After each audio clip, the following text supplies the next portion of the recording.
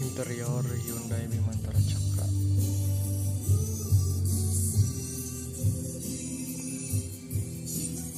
kurang lebih seperti inilah.